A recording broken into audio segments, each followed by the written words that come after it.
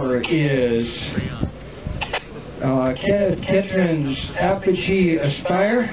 Somebody got a last name right. It's on 4A, and that's on a D12 seven-second delay. And it looks like it's got a Jolly Logic 2, which I would take to be an altimeter.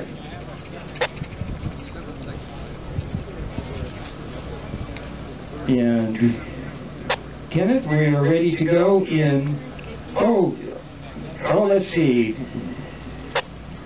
Now, since this is first flight, I've gotta read the fine print down at the bottom.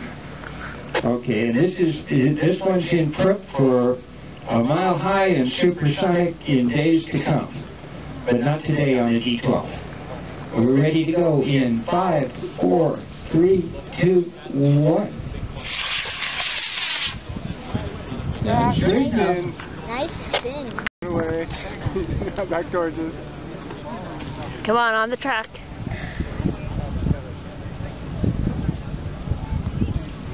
Excellent. That one's going to land safely out of the way. On track, yeah. Okay.